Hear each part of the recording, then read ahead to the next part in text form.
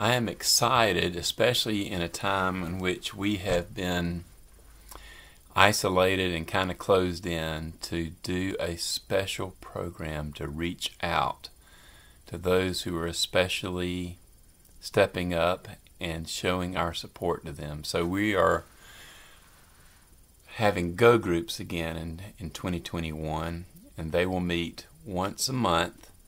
Three different groups will meet once a month They'll have dinner, they'll have a Bible study, a brief Bible study, and fellowship, but also do some practical missions to support people who are in need, especially during this pandemic. So we are going to have a picnic on the Sunday the 26th to introduce this after our 1030 worship service. But uh, let me just tell you about the different groups now. Uh, one group will meet the first Sunday of each month in October, November, January, and February. And they will be looking to help um, first responders like police and sheriff's deputies and EMS workers and dispatch callers to encourage them who have uh, gone the extra mile during this pandemic to help people who are in need. And uh, we know they need special encouragement right now. So uh, we're going to hear some speakers from them, like Chris Linder's is going to do the first uh, Go group on October the 3rd. And we'll have food, so bring your own food. Bring, bring a covered dish to share with people. If it's a pretty day, we can have it outside. If it's not pretty, we'll have it in fellowship hall. That'll be after the 10:30 worship service.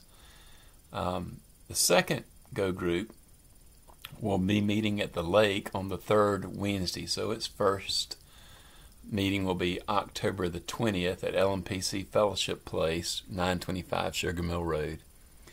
And this group will be concentrating on medical workers like doctors and nurses and family practices, local family practices, trying to encourage them and help them in their uh, great work of helping other people.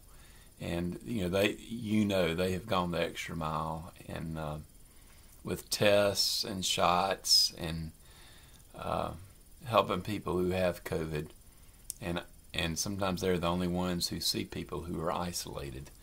So we're going, and they've been working long hours. So we're going to try to show some uh, token of support to let them know that they are in our prayers and thoughts, and we'll be creative in how we do that.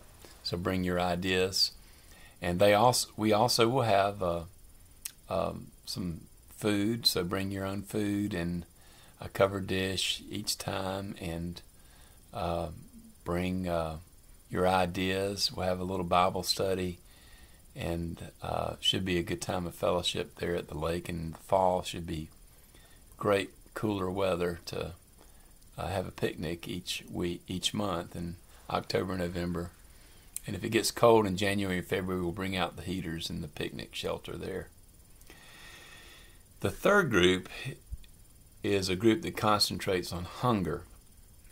Now, their first meeting will be October 24th. It'll be right before trunk or treat. Now, some people say, well, I can't do that, but it actually should be more convenient. While, while some people are setting up their trunks, we'll be in the fellowship hall and we'll get to go out and see some of the trunk or treaters. Uh, it's at 5 o'clock on the 24th.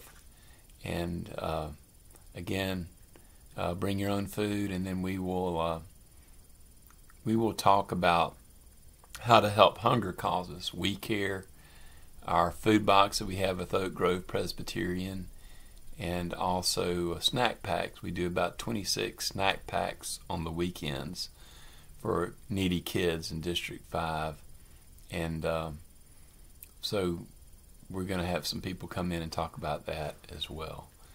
So uh, I hope you can join us for Go Groups this is an important thing. We have been closed in, we've been kind of isolated and focused in on ourselves, and this is a way to help people who have been out there uh, giving out food to people, have been out there helping people medically, been out there uh, taking people to the hospital as an EMS worker or uh, having to do their work to preserve public safety as a police officer or sheriff's deputy. So these are some things that we will be uh, trying to support and concentrate on as we do some mission community go groups.